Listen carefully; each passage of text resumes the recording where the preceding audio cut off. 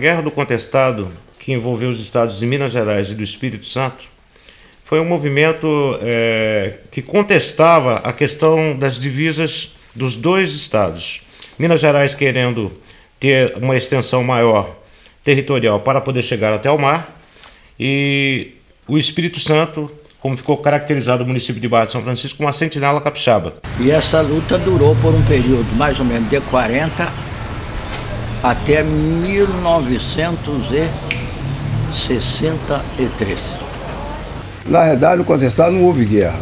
O contestado é o seguinte: foi um problema que surgiu entre Minas Gerais e o Espírito Santo, em virtude dessa região aqui, em 1930, que eu cheguei aqui em 46, mas a partir de 1930 já tinha habitante aqui. Só que o pessoal, os habitantes aqui, todos é de Minas Gerais, porque então o pessoal buscava recursos lá em Resplendor, lá em Conselheiro de Pena, que é a cidade de Minas Gerais. Né? Ah, o limite do estado do Espírito Santo, a Imorés era o Espírito Santo. A Imorés passava ali por Galileia, Conselheiro Pena, até ir à divisa, perto de Carlos Chagas. Essa era a divisa antiga do Estado. Nós ficamos conhecidos no Espírito Santo como Sentinela Capixaba porque nós resolvemos frear os mineiros, não deixar que eles avançassem e chegassem até o mar. Minas Gerais ficou com um território muito imenso e o Espírito Santo ficou muito pequeno. E como Minas tinha interesse a mar, queria invadir aqui, Espírito Santo, até lá embaixo. E São Francisco ficou como sentinela capixaba. Enfrentou o, o, grande estado de Minas Gerais com bravura. Então, de fato, é uma sentinela capixaba. Na realidade, o que acontece, o que acontecia naquela época, eu percebo isso hoje, é a falta de cultura, porque naquela época é, a população praticamente era analfabeta.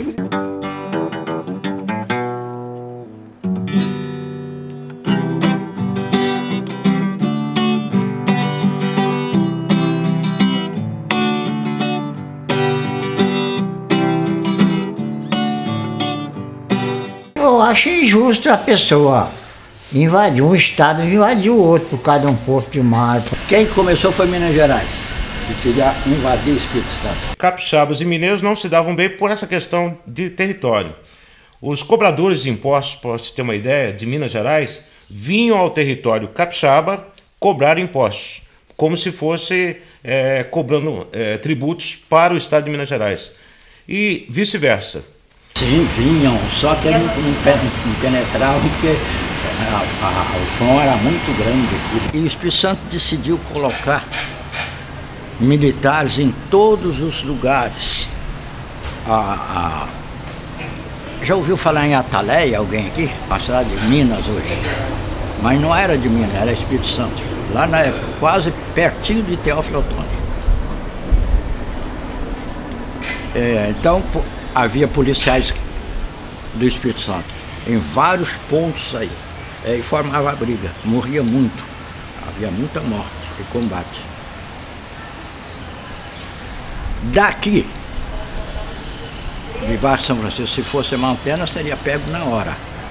Para citar um exemplo, né, um soldado chamado Eliseu Divino, que é nome de rua aqui em Baixo São Francisco, que liga Baixo São Francisco a Mantena, saída para Mantena, esse soldado foi, era um cabo, ele foi morto pelas tropas mineiras numa tocaia. Ele estava lavando o rosto num ribeirão, numa bica d'água, e quando as tropas mineiras vindas de Gabriel Emílio, então na época não Mantena, mas hoje Mantena, e o assassinaram.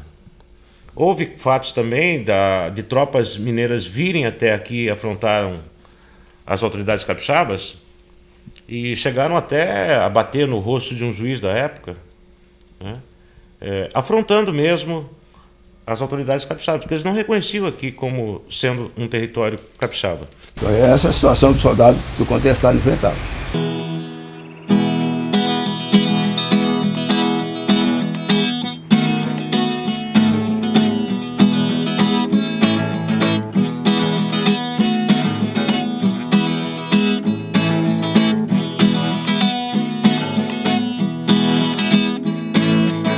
Estado de Minas Gerais ficou com a maior parte do, da terra, inclusive uma antena ali.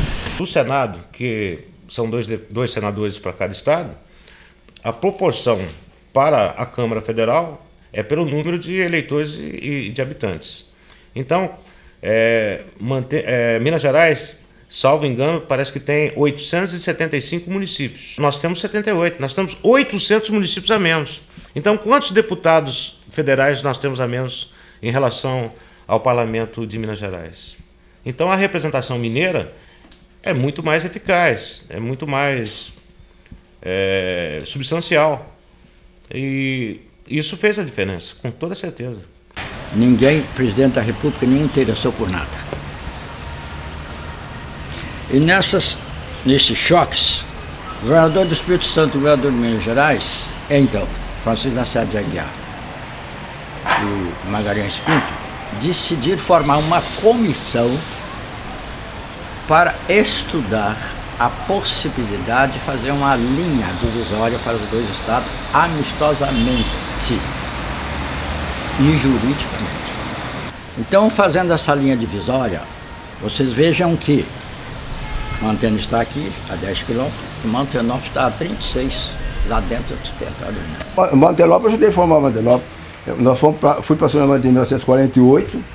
Coronel Floriano Rubinho, que vocês não conheceram, era o primeiro tenente, foi quem criou o Mantenópolis. Mas eu devo voltar ao princípio. Quando o Brasil foi dividido em Estado, o exército brasileiro, no seu trabalho, ah, o limite do Estado do Espírito Santo, a Imorés era o Espírito Santo.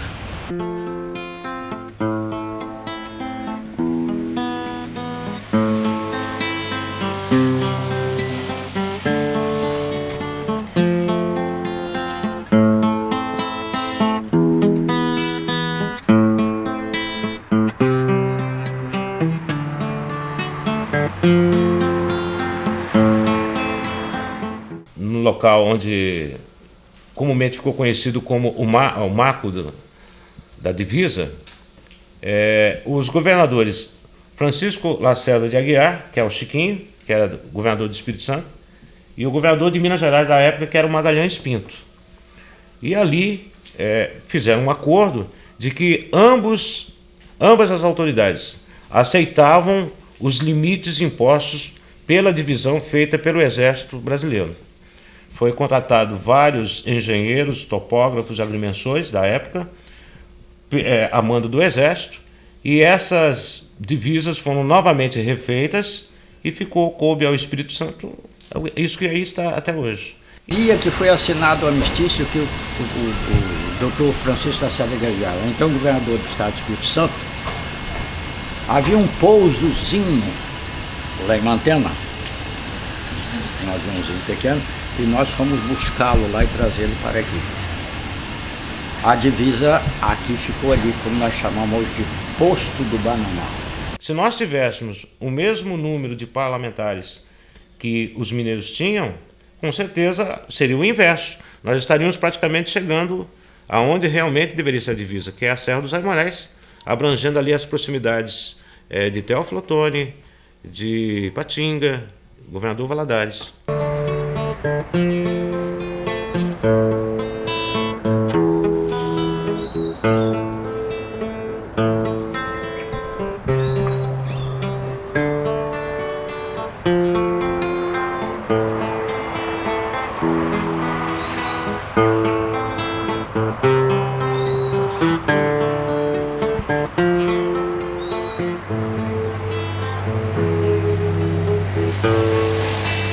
-hmm. you.